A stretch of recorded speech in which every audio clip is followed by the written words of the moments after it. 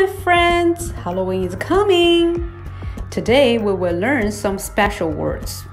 That is 云 cloud, 鬼 ghost, 魂 soul.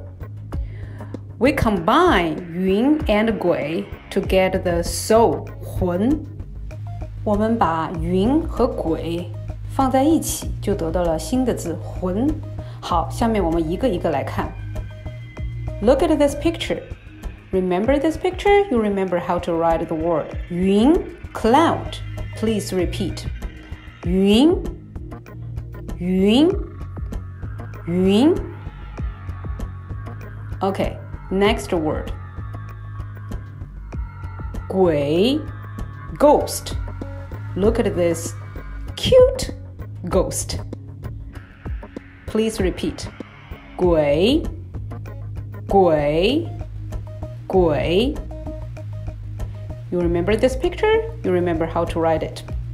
记住了这张图，你就记住“鬼”字怎么写的了。但是需要很多的练习。How about we put the 云 and 鬼 together to combine them into one word? We get a new word that is 魂 soul. Please repeat. 魂 魂魂，如果我们把云和鬼放在一起，我们就得到了新的字魂。So，好，下面我们来看一下，组一个词，鬼魂，鬼魂，鬼魂，Ghost，very spooky，哈。Okay，that's it。Okay，test the time。Do you remember how to pronounce these words? I will not tell you. Can you pronounce them? If you can, congratulations.